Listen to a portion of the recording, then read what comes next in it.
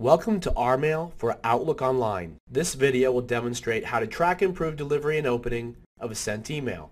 Let's begin. From your Outlook Online email inbox, click New. Address your email and add a subject line and message as you normally would.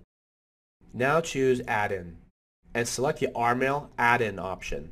The customizable RMail option window now opens. In this instance, we want to track the email and receive proof of delivery content and time. Because every email sent via RMail is automatically tracked and returns proof of delivery, that selection is already selected.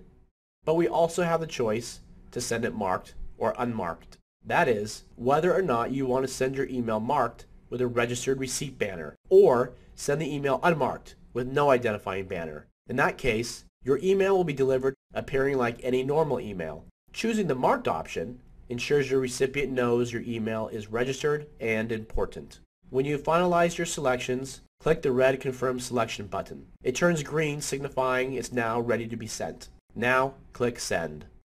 You will notice in a few moments you receive your acknowledgement email. This email certifies that your email has been sent. It includes who it was to, the time it was sent, and the message ID.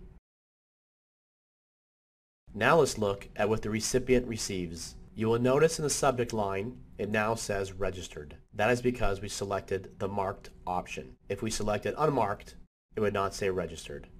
Upon opening, the recipient notices right away the registered email banner, certifying delivery, content, and time.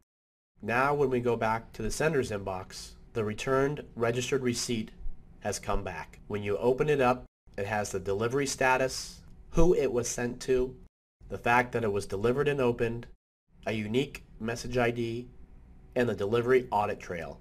This is your legal proof of delivery, which proves the message's content and time sent. And that's how you track and prove an email using RMail for Outlook Online. To learn more, visit rmail.com.